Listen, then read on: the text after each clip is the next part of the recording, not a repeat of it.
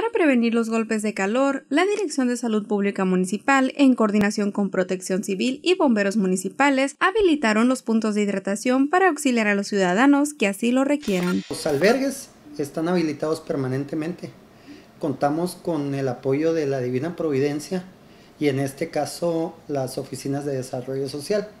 Y es para eh, mitigar un poco las temperaturas altas el director de Protección Civil y Bomberos Municipales, Ricardo Trigo Ramírez, dio a conocer que es importante cuidar la salud de niños y adultos mayores, además de aumentar la ingesta de líquidos, utilizar ropa de algodón y colores claros, gorra o sombrero y no salir de sus hogares si no es necesario en las horas pico del día.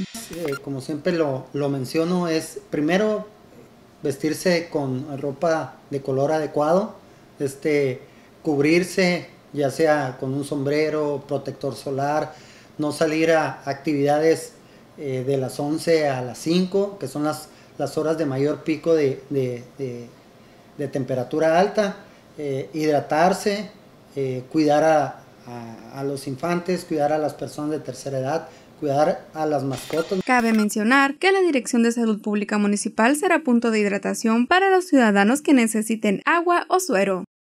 Midori Becerra, Mega Noticias.